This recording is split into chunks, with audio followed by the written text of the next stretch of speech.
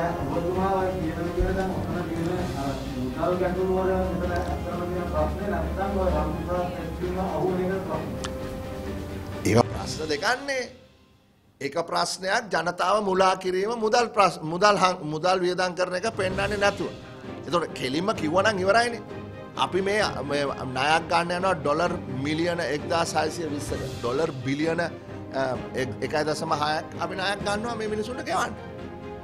හරි අවුරුද්දට ඩොලර් මිලියන 106 ගානේ අපි මේ මිනිසුන්ට ගෙවනවා. එහෙමනම් එතකොට රජය ප්‍රොජෙක්ට් ගන්න මේක. ඉතින් රජය ප්‍රොජෙක්ට් ගන්නම් රජය ප්‍රොජෙක්ට් කරන්න ලංකාවේ ඒ ප්‍රොකියුමන්ට් මේ මේ මේ සිස්ටම් එකක් තියෙනවා. ඉතින් රජය අපේ මුදල් වියදම් කරනවා නම් ඒව Tamanට හිතු මතයට එක එක කොම්පැනි වලට දෙන්න බෑනේ.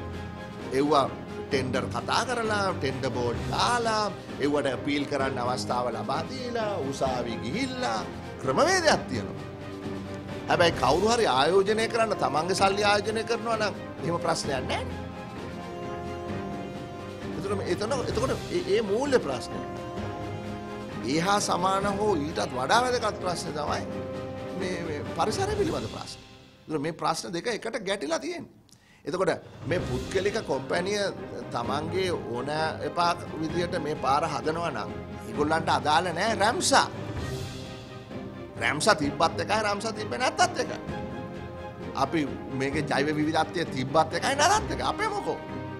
අපි එන්නේ අවුරුදු පහලෝකට අපේ ඉන්වස්මන්ට් එක ඩබල්ටත් වඩා අපි කවර් කරගන්නවා මොකද මේ ආණ්ඩුව කියනවා අපිට 1620ක් ගෙවන්න සූදානම් වෙනවයි කියලා. හරි. ඉතින් අපි ඒක කරන්න කලින් තමයි අපේ ජනතාවට මේක පෙන්නලා දෙන්නේ.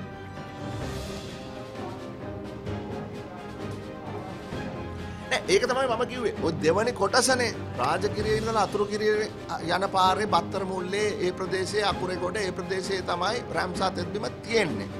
හරි එතකොට ඒ හරහා කිසිම මේ- මේ වැඩපිළිවෙලක් අපේ ගිය ආණ්ඩුව කාලේ තිබිලා නෑ දෙවනි කොටස සම්බන්ධයෙන් ට්‍රේස් එකක් තිබිලා තියෙනවා. නමුත් කිසිම විදිහකට අප්‍රූවල් එකක් අරගෙන නෑ.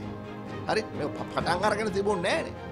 හරි ඒක පළවෙනි කොටසට විතරයි අප්‍රූවල් අරගෙන තිබුණේ. දෙවෙනි කොටසට නෙමෙයි. දැන් මේගොල්ලෝ කරේ පළවෙනි කොටසයි දෙවෙනි කොටසයි දෙකම එකට දාලා එකක් හැටියට පටන් ගන්න. ඉතින් එයනේ මුදල් ප්‍රශ්නේ ගැටලුවක් වෙන්න කියන්නේ ඉතින් කවුරුත් ඒක දීලා තිබුණේ නෑනේ. ඒගොල්ලෝ කිව්වනේ ප්‍රශ්න තියෙනවා කියලා. මම කිව්වේ ඒ කට්ටිය කිව්වා කියලා අපි කොහොමද මේක කරන්නේ viability gap finance එකක් නැතුව කියලා. එතකොට මේකේ මේකේ ෆීසිබිලිටි එක මේකේ ශක්්‍යතාවය පිළිබඳව ගැටලුවක් තියෙනවා පුද්ගලික ආයතනයට මේක කරන්න පුළුවන්ද බැරිද කියලා.